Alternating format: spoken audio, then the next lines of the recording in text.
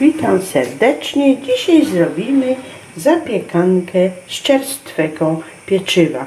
Mam tutaj cztery kromki czerstwego pieczywa, dwa plasterki szynki, 15 deko sera żółtego, pół szklanki śmietany i trzy jajka.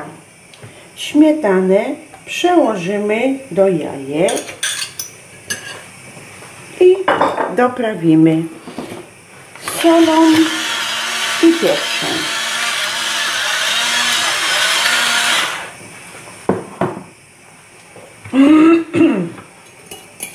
Należy masę jajeczną dokładnie pomieszać.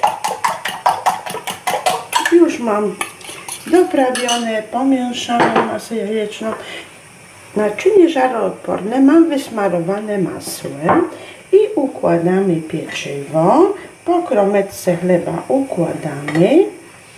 Dajemy plasterek y, sera, plasterek szynki i tu również plasterek sera i plasterek szynki. Tak to wygląda. I teraz przykrywamy następną kromeczką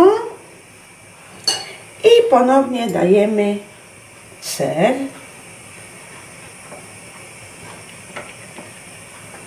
Tutaj już dajemy więcej sera, ponieważ nasza zapiekanka z czerstwego pieczywa musi być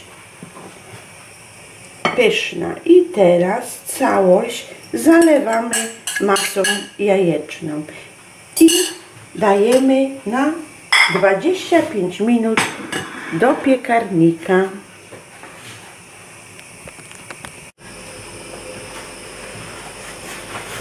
Nasza zapiekanka już jest upieczona.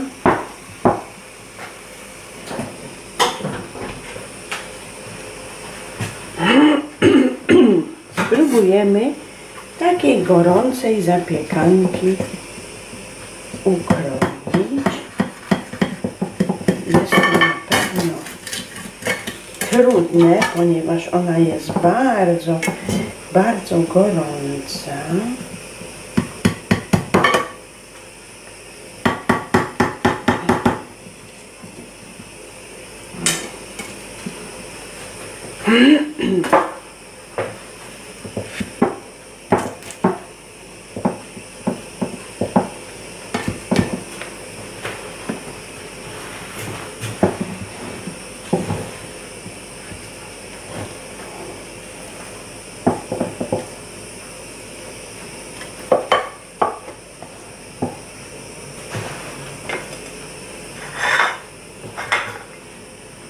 Oto zapiekanka z czerstwego pieczywa.